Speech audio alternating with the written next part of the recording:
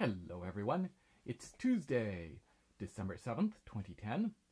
And on this episode of Harp Tuesday, I'm going to be talking about John Rutter's Dancing Day. And this is in contrast to the piece I talked about last week, Ceremony of Carols. John Rutter's Dancing Day is for harp and choir. It's a bunch of Christmas music, song cycle of Christmas music.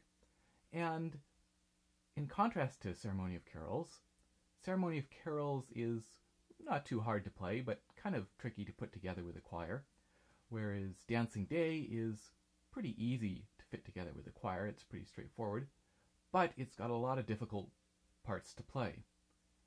So, whereas last week I highly, highly, highly recommended that you listen to a lot of recordings and get a look at the vocal score, with Dancing Day, it's obviously very helpful to listen to recordings and to look at the vocal score, but really putting it together with a choir is is the easiest bit. And the most challenging is just learning the notes.